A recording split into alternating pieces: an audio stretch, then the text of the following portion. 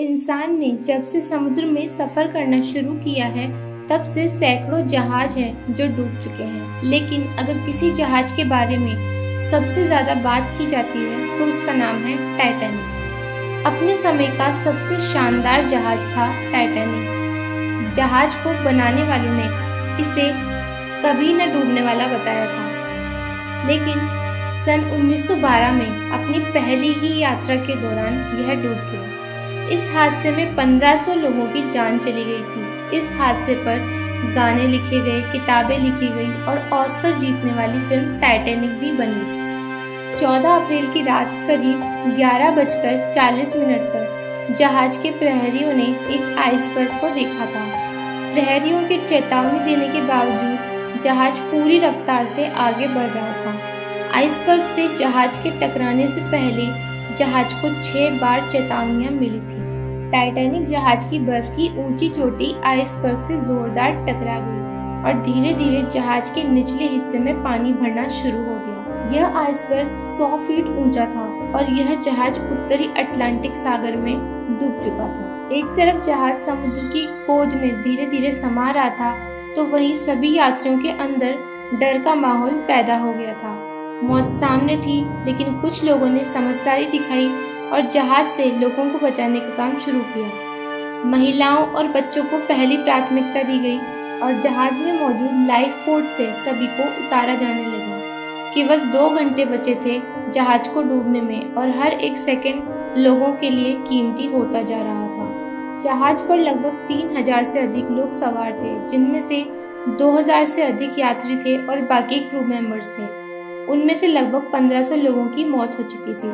सबकी जान बच सकती थी, लेकिन जहाज़ पर केवल 20 ही लाइफ बोट थी। इस दुर्घटना के बाद समुद्र पर लगभग 300 से अधिक लोगों की लाशें तैर रही थी। बाकी लाशें कहाँ गुम हो चुकी थी, किसी को नहीं पता। टाइटैनिक जिस पानी में डूब रहा था, उसका तापमान इतना कम था कि महज 15 मिनट के भीतर ही इंसान की हड्डी गल सकती थी। माना जाता है कि जहाज़ में मौजूद म्यूजिशियन इसके डूबने तक म्यूज़िक बजाते रहे जिससे मरने जा रहे लोग अपने आखिरी समय को खुशी से बिता सके। इस जहाज़ का मलबा ढूँढने में पिचहत्तर साल लगे और 1 सितंबर उन्नीस को टाइटैनिक का मलबा समुद्र में खोज लिया गया। यह जहाज़ दो टुकड़ों में मिला था, लेकिन बहुत से लोग टाइटैनिक में सफ़र नहीं करने वाले थे। टाइटैनिक के मालिक व्हाइट स्टार लाइन ने अपनी दो समुद्री जहाजों की यात्रा कोयले की कमी के कारण रद्द कर दी थी। इन दो जहाज़ों के सभी यात्रियों को टाइटैनिक जहाज़ में शिफ्ट किया गया था। आज से करीब 100 साल पहले टाइटैनिक में सफ़र करना बहुत महँगा था। आज के समय में अगर इस जहाज़ में यात्रा करना होता तो लगभग 50 लाख से ज़्यादा की रकम चुकानी पड़ती। इस जहाज़ में महिलाओं से ज़्यादा पुरुषों की संख्या अधिक थी। खाने पीने से लेकर एक्सरसाइज करने की पूरी सुविधा थी। टाइटैनिक का डूबना अपने साथ ही कुछ कॉन्स्पिरेंसीज थ्योरी लेकर चलता है। आइए आज हम आपको बताते हैं टाइटैनिक से जुड़ी कुछ ऐसी ही कॉन्स्पिरेंसी थ्योरी के बारे में। सबसे पहली थ्योरी की बात करें तो इसे मम्मी का शाप कहा जाता है।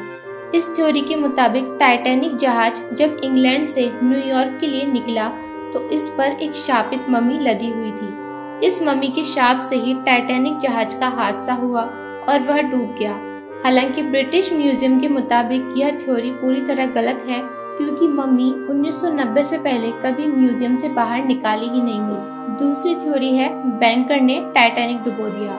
दूसरी थ्योरी के मुताबिक इस जहाज़ को जानबूझकर डुबोया गया। कॉन्स्पिरेंसी थ्योरी गढ़ने वालों के मुताबिक इसके पीछे बैंकर जेपी मॉर्गन का हाथ था, जो अपने प्रतिद्वंदी करोड़पतियों को खत्म करना चाहते थे। ये प्रतिद्वंदी थे जैकब एस्टोर बेंजामिन गुगेनहैम और इसीडोर स्ट्रॉस तीनों की ही टाइटैनिक हादसे में मौत हो गई थी।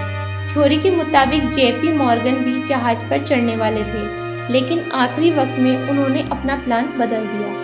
अमेरिका में फेडरल रिज़र्व बैंक की स्थापना का यह तीनों विरोध कर रहे थे, जबकि मॉर्गन इसके समर्थन में थे। टाइटैनिक डूबने के एक साल बाद ही फेडरल रिज़र्व बैंक की स्थापना हुई। तीसरी थ्योरी है कि टाइटैनिक कभी डूबा ही नहीं। ये थ्योरी हमें यह भी कहती है कि टाइटैनिक जहाज़ कभी डूबा ही नहीं। इस थ्योरी के मुताबिक जहाज़ की मालिक कंपनी ने टाइटैनिक की ही तरह दिखने वाले जहाज़ ओलंपिक से इसे बदल दिया था। थ्योरी के मुताबिक कंपनी ओलंपिक से पीछे छुड़ाना चाहती थी और उसे इंश्योरेंस का पैसा भी चाहिए था। इसी वजह से टाइटैनिक की जगह ओलंपिक को डुबोया गया। हालाँकि आज तक ऐसे सबूत साफ़ तौर पर मौजूद हैं, जिसके मुताबिक टाइटैनिक जहाज़ ही पानी में डूबा था। टाइटैनिक को पनडुब्बी ने डुबोया। टाइटैनिक का हादसा 1914 में प्रथम विश्व युद्ध होने से ठीक पहले हुआ था। एक कॉन्स्पिरेंसी थ्योरी के मुताबिक जर्मन पनडुब्बी ने इस पर हमला किया था, जिस कारण यह जहाज़ डूब गया। कई यात्रियों ने दावा किया कि उन्होंने 10 से 12 किलोमीटर की दूरी पर एक पनडुब्बी जैसी दिखने वाली चीज़ देखी थी। हालाँकि बाद में यह एक फर्जी दावा साबित हुआ। एक्सपर्ट मानते हैं कि टाइटैनिक डूबना एक हादसे के कारण हुआ था। जहाज़ एक बर्फीली चट्टान से टकरा गई थी। इस टक्कर के बाद जहाज़ के अंदर पानी भरने लगा, जिसके कारण जहाज़ डूब गया और दो टुकड़ों में बट गया। हादसे के तिहत्तर साल बाद, यानी कि उन्नीस में, कनाडा के न्यू फाउंडलैंड के करीब इसे सागर में खोजा गया। तो ये थी कुछ ऐसी थ्योरीज जो कि पिछले सौ सालों से चलती आ रही है। आपका इन पर क्या कहना है और आपके अकॉर्डिंग टाइटैनिक क्यों डूबा और उसके पीछे क्या रीज़न हो सकता है, आप हमें कमेंट करके ज़रूर बताएँ। Thanks for watching